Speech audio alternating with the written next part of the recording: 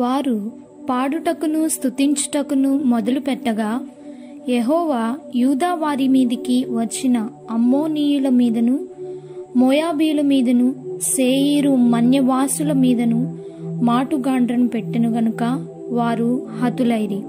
రెండవ దినృత్తాంతములు ఇరవయవ అధ్యాయం ఇరవై రెండవ వచనం. మన కష్టాల గురించి ఆలోచించి మనసు పాడు చేసుకోవడం కంటే పాటలు పాడి స్థుతించడం ఎంత మంచిది? సంగీత వాయిద్యాలుగా ఉపయోగించవలసిన ఎన్నో విషయాలను మనం కాళ్ళకి బంధాలు వేసే గొలుసులుగా చేసుకుంటున్నాము వాటి ద్వారా స్థుతి పాటలు పాడడం ఎలాగో నేర్చుకోము.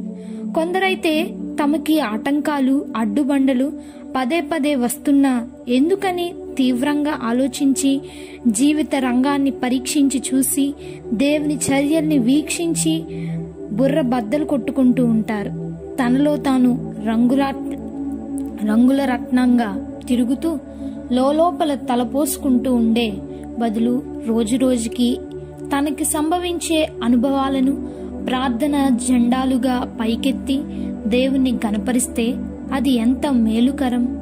మన శ్రమలను ఆలోచించడం ద్వారా మర్చిపోలేం గాని హల్లెలూయ కీర్తనలు పాడడం ద్వారా రూపమాపవచ్చు.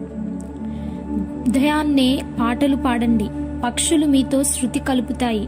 పక్షులు ఉన్నంత హాయిగా ఏ దిగులు లేకుండా నాకు తెలిసినంత వరకు మరే జీవి ఉండదు. సాయం సమయాల్లో పాడండి. పిచ్చుకలు నిద్రపోయే ముందు చేసే ఆఖరు పని అదే. వాటికి ఆ రోజు పని ముగిసింది. గూటికి చేరుకున్నాయి. తినవలసిన ఆ చిన్న ఆహారపు కణికను తిన్నాయి. ఇక చిటారు కొమ్మపై చతికిలబడి గొంతెత్తి దేవుని కీర్తిస్తాయవి. మనం కూడా ఉదయం సాయంత్రం స్తుతి పాటలు పాడగలిగితే అది ఎంత క్షేమకరం.